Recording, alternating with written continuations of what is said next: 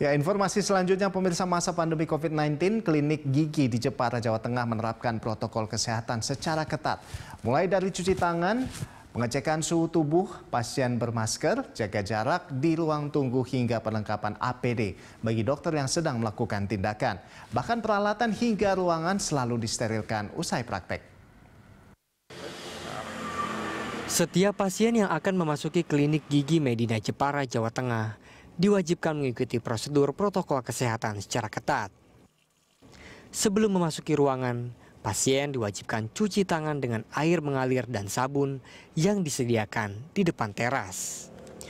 Usai cuci tangan, petugas klinik melakukan pengecekan suhu tubuh guna memastikan kondisi kesehatan pasien. Penerapan jaga jarak juga diberlakukan di ruang tunggu yang ditandai dengan tanda silang untuk tidak ditempati. Selain itu, riwayat kesehatan pasien juga harus jelas terdata. Seluruh tim medis yang akan melakukan tindakan mengenakan alat pelindung diri lengkap. Destila Zuba, dokter gigi klinik Medina, Jepara menyatakan, penerapan protokol kesehatan ini diberlakukan secara ketat sejak dari awal.